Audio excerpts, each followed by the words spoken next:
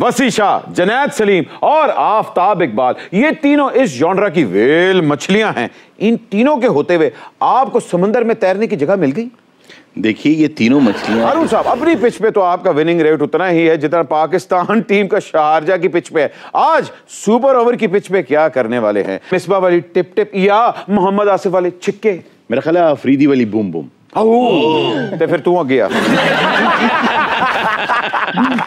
हारून जी अगर आप अपने नौरत्नों के साथ हमारे शाही महल में तशरीफ़ लाते तो आज इस सुपर ओवर की तेज पिच पर हारून अलेवन और तैमूरी नाइट राइड्स में तेजदार कांटेदार मुकाबला होता खुदा हम न्यूट्रल अंपायर के साथ खेलने के कायल हैं इस बात के जवाब में मैं एक ही बात कह सकता हूँ। जी।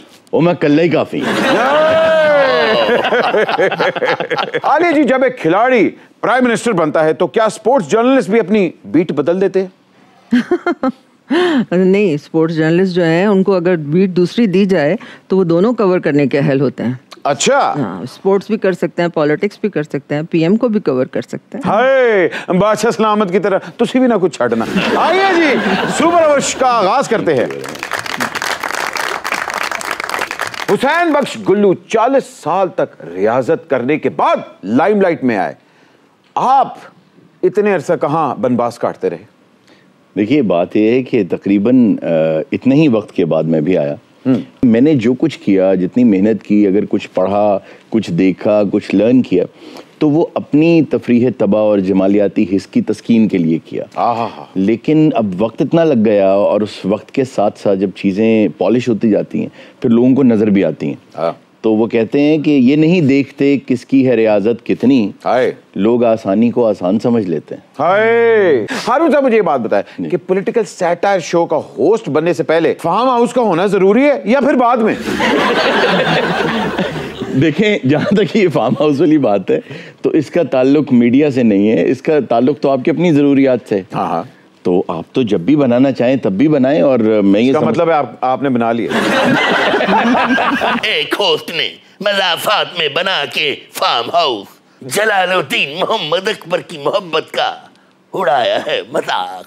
बादशाह लेकिन पसे पर्दाए तशहीर फार्म हाउस तूने मेहनत के निशानों को तो देखा होता। बहुत अच्छे। हारून को जिंदान में डालकर आलिया को काफ़ी पेश नहीं ये असल में उस फार्म हाउस में गए थे वहाँ पानी वाला तालाब था ये वहीं के हैं।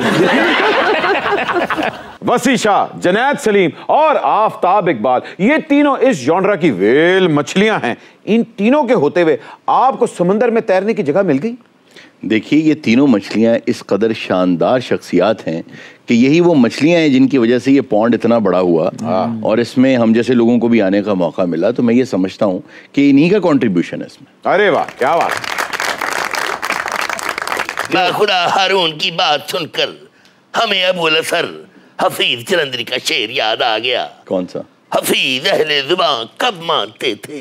बड़े जोरों से मनवाया गया हूँ। मेरा ख्याल है कि अगर आपके सामने एक पाया कर दिया जाए तो आप मान जाएँगे। ये मेरा सीटी स्कैन कैसे हो गया? नहीं ये आपका सीटी स्कैन नहीं आपके पीटी स्कैन से पता चला। हारून आलिया रशीद आपने हमारे शीश महल में कदम रंजा फरमाकर हमें जो खुशी दी है इसके इजहार के लिए नसीरुद्दीन हमायूं बिन जहीरुद्दीन बाबर के फर्जंद अर्जमन जलालुद्दीन मोहम्मद अकबर बबीता कपूर बनने के लिए तैयार है। साजिंदो लेट्स द म्यूज़िक प्ले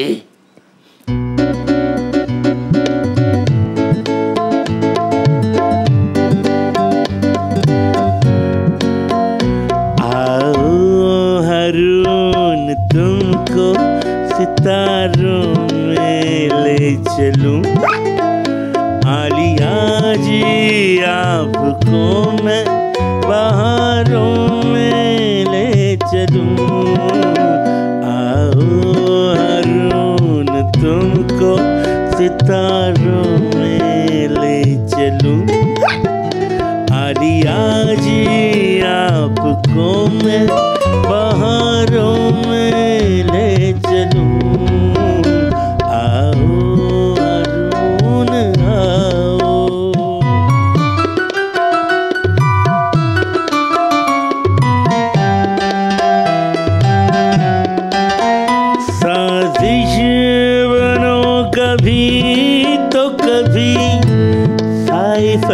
बनो।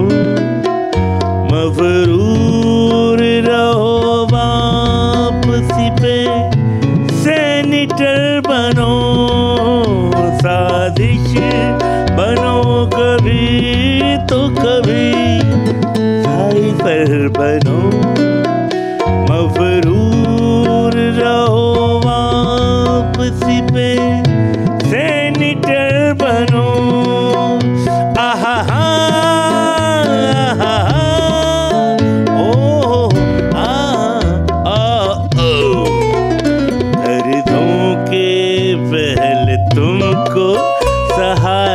पे ले चलूँ।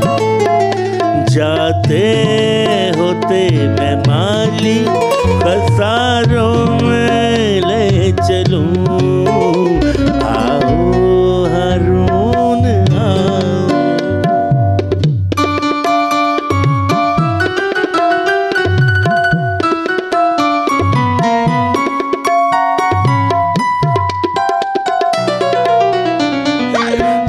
चाहे दो तिहाई से भी जी तो इंतखा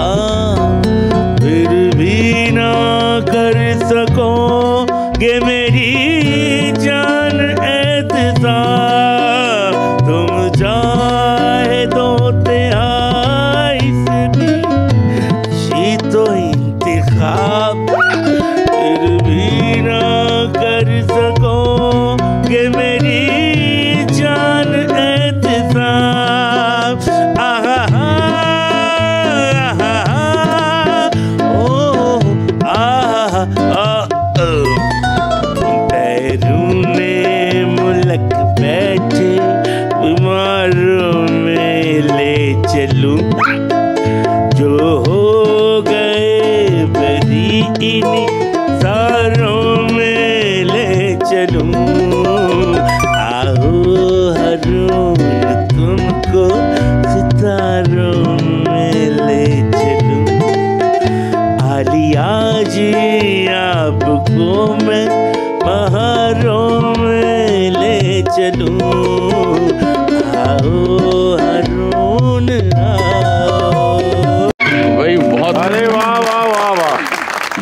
बहुत खूब बहुत अच्छे। बादशाह नजाकत बहुत आलिया जी ये जो पृथ्वी राज से एकदम से बबीता वाली ट्रांसफॉर्मेशन हुई है इस पे आपकी एक्सपर्ट ओपिनियन क्या कहती है?